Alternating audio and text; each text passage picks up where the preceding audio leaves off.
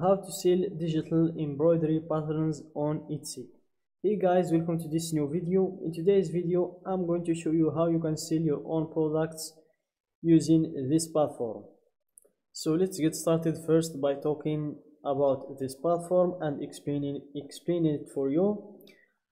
So Etsy.com is a platform where you can sell your own products or when you can buy other people's products as you can see like here these clothes or those earrings those other earrings.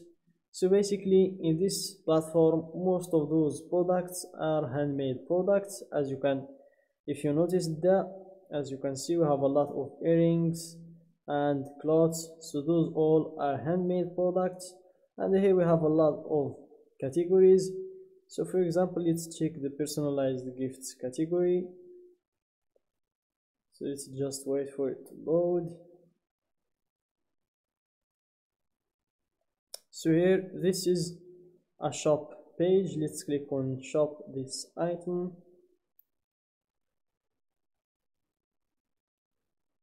And wait for it to load.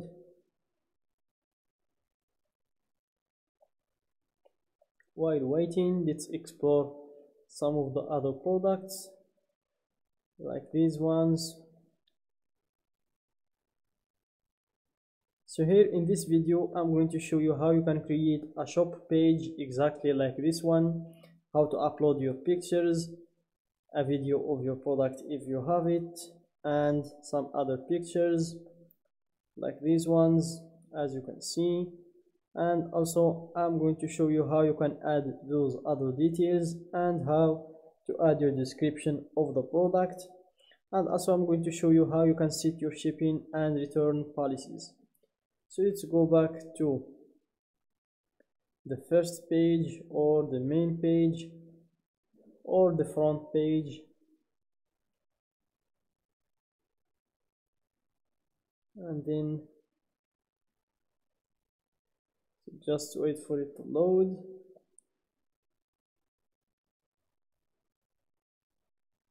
Let's close this one and let's stay focused in here see if the sign button is working. So I think so here it's loaded. So just click on the sign in button and log in with your email or register to create your new account. So click on sign in to log in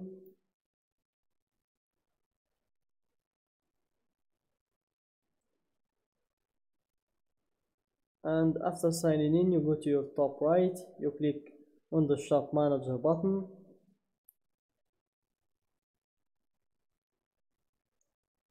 And let's start from the shop preferences. So here guys to create your shop page you will need to go through six steps as you can see in here and the first is the shop preferences where you set your language your country and your currency. So i'm just going to change the currency and leave everything else as it is. Then click on save and continue. And then you choose a name for your shop. So for me i'm just going to type my niche as the name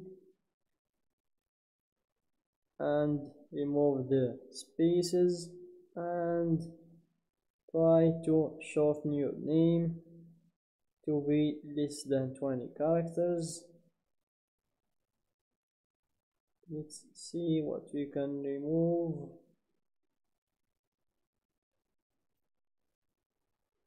So that's it. Click on save and continue. And then you proceed to fill in the other details like the photos and uh, the details about your item. You can fill out what you can for now. You'll be able to edit this later.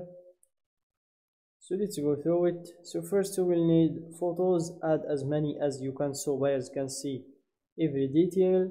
So here photos use up to 10 photos to show your item's most important qualities. And here you have some tips like use natural light and no flash include a common object for scale show the item being held worn or used shoot against a clean simple background add photos to your variations so buyers can see all their options.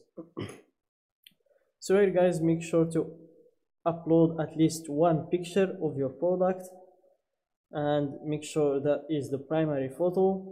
Or if you have even more that's better. And then we have the video so here bring your product to life with a 5 to 15 second video. It could help you drive more sales.